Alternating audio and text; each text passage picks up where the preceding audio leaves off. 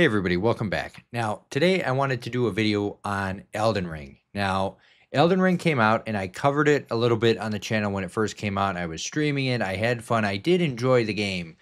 But uh, back when it came out, I did have some problems with it, and it kind of stopped me from fully playing and enjoying it. So now with Shadow of the Erdtree on the horizon, I figured, why not? Let's let's go back to Elden Ring. Let's give it another shot. I can say right off the bat, going back to this, um, God, what a wonderful game. And I knew this back when I played it, like the sense of scope is amazing. This is a huge, huge world. There's like so much to explore, but my problem with it was you would go through these levels in these areas and zones, and I felt like the reward wasn't there.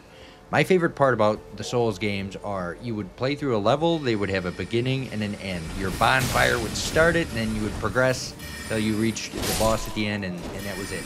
You could find all the little hidden treasures in there, and uh, I just really enjoyed that loop. So with Elden Ring, I didn't quite get that because playing through Elden Ring, I felt like I would go and I'd see an encampment, I'd clear it out, I'd go search for goodies, and I would get like mushrooms and leaves, and I'm like, why, why did I just do this? What was the purpose of any of that? And um, going back to it now, after some time has passed, you know, this is 2024, so like two years later, you know, I'm coming back to this, and. Uh, with a fresh set of eyes and a fresh mind, I enjoyed a lot more. So my issue with it was the the level design wasn't quite there. But going back to it now, the open world, I realize it's just for leveling up your character. That's just for making you stronger. Like if you want to go get upgrade stones, you go to the mines. If if you want to go and farm out the little trees to get the uh, sacred seeds or if you want to increase your flasks, you, you can go to the Churches of Marika. Like, that's the brilliant part of this game. If you want the tight level design that these games are known for, you go do one of the five main legacy dungeons. And then if you want to progress the actual campaign, you just do the legacy dungeons. Like, you, you progress the story. So that's why it's all coming together now because now when I'm playing this, I'm just seeing it like for what it is and I'm like, "Oh my gosh, I've been wasting all this time doing this little ancillary stuff all throughout the map when you don't have to. Like that it's there if you want to go explore, like go ahead.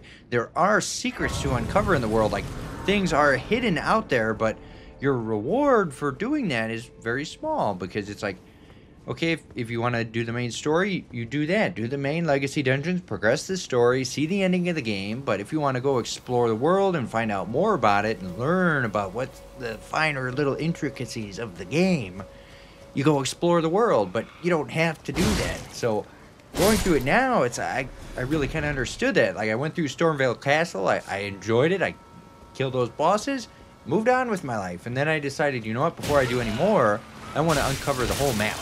So that's what I've been spending a lot of time on recently, just going through and if you look on the map, when you uh, kind of venture into unknown areas, eventually you clear the fog of war a little bit and you can see a little obelisk on the map. So I've been going to each of those obelisks because when you get there, you actually clear the map and you can see in detail the whole map. So I've just really been enjoying running around on Torrent, kind of clearing all that and, and, unlocking as much of the map as I can. While I'm doing that, I'm going through and I'm farming all of my flask upgrades and I'm, I'm getting as many flasks as I can.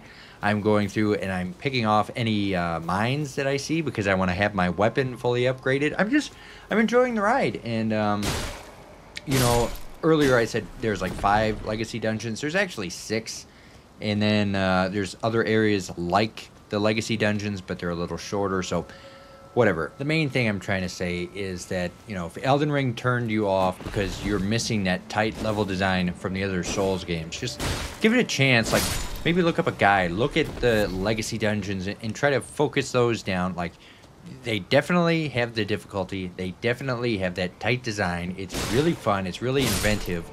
Um, the other thing that kind of turned me off at first was this whole garden aesthetic. Like, I didn't really understand it. And now that I've kind of researched it a little bit more, I get it. You know, the whole idea of the tree being like a dead tree and a mushroom actually consuming it and the mushroom spreading and like the scarlet rot is a part of that mushroom life cycle that is just destroying the world and it is infecting the tree and I like that and I like you know the whole grafting thing went over my head. I didn't really realize that was a, a practice in uh, herbology or whatever where you like cut a plant and you can graft them together so that's why Godrick the grafted and, and all that stuff it's cool like it, it's kind of a unique look at it you know I I was a fan of Dark Souls so I was kind of you know sad they moved away from that, but it's cool to see them do new things. And this is similar enough. You know, you still have your zombies and ghouls, and it's just got a different overarching theme to it, which is cool. Um, it definitely seems very deep. You know, if you talk about the lore of Dark Souls, obviously over the course of three games, it's expanded quite a bit, and there's a lot to it. But if you break it down from the first game, it, it's pretty simple. You know, you got the the Lords of Flame, and you're going after them, and it's a it's a cycle that's repeating, and that's kind of the story. You got dragons and zombies, and that's it. But in this, I feel like the the amount of depth in this one game is, is so much more. Like it's so complicated, and that's something I'm going to pay attention to as I progress further. Because now my goal is I want to go through and I want to get to platinum for Elden Ring. I I really want to try and do it this time you know, building up to Shadow of the Erdtree, that's coming out like June 21st. So it it's getting close. So I what I want to do is this playthrough of Elden Ring, I want to try and do as much as I can to get myself up to that platinum. And then Shadow of the Erdtree will drop. I'm going to play that. I'm going to have fun with that, try to get all the platinum or all the trophies from that. And uh, I just want to see what this game has to offer. I want to really dive into it. Um, so going forward, I'm going to kind of focus on these legacy dungeons. I'm going to focus on the story. I want to watch some videos and try to figure out what's actually going on in this world because I know that there's like, you know, there's the people that want to keep the tree in good health and they follow the tree and the tree is their god and they love the tree. But then there's other people that use gravity magic. Not really sure how that's tied to the Erdtree. I know like Radahn, when you defeat him, it brings the constellations back and you see the stars move, and I, I guess it's time continuing, is kind of my understanding of it now, but this world is kind of frozen in place, from what I understand. So I don't know. I'm going to watch some videos. I'm going to try and pay attention as I'm playing through the game, and I want to try and understand this game more, because I definitely don't understand it that well. Um, I was kind of disappointed when Elden Ring first came out. Like, I, I, really liked it. I fell into it. And then I just fell out so hard. And part of that is because I was playing on PC the first time around. And I generally don't play games like this on PC. I've always played the Souls games on console. So for me, it just felt weird, like playing it on my computer. And I bought a controller to, to play with it, but I didn't really like it that much on computer. I like being able to play on the couch, and, and now I got the portal, so I can play in the bed, or you know, I'm not confined to this one room. Um, the other thing I'll say is I don't know how anybody plays this game without a pro controller of some sort because gosh, that was brutal. The the default controls for Elden Ring while on horseback are awful. I feel like I am constantly running around and the game is so tense. You're constantly like gripping the controller and if you press too hard on that left stick, it, it dismounts.